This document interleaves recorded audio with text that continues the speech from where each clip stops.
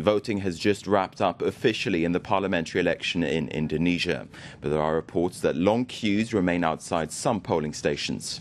Some uh, 170 million people were eligible to vote.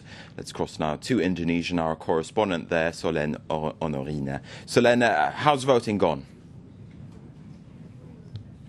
Voting has gone well in the whole country, apart from some problems, some scattered incidents in the easternmost provinces of Papua.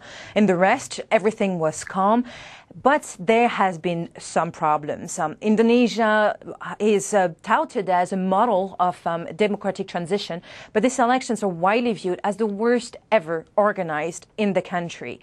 Today, there's uh, several people, maybe millions of um, thousands of people who arrived at the polling station and could not vote because they were not registered on the electoral lists. So therefore, we can have some problems for that and some people who could be disappointed because they could, were not able to cast their bulletin in the, in the, in the polling station.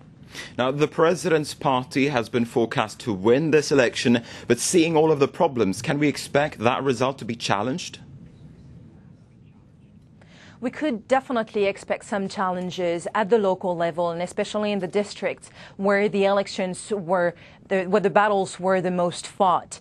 Um, at, at, the national level, these elections are very important because it's from this election that depends who could run for the presidential elections because you need to have a certain amount of, number of votes in order to present a candidate. Otherwise, you have to go through the difficult game of politicking and of doing alliance between the parties, which is what they will do as soon as we start to have the first results.